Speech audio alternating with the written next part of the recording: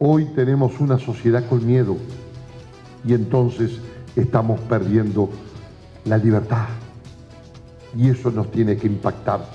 Es por eso que hoy votamos en el Senado de la República que se interpele al ministro del Interior. Votamos que se interpele al ministro del Interior.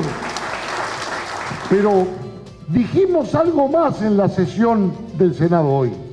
Para que no sea una interpelación más, desde el Partido Nacional puntualizamos que queremos la censura del ministro y por eso vamos a recorrer el camino que prevé la Constitución de la República, que es el establecido en los artículos 147 y 148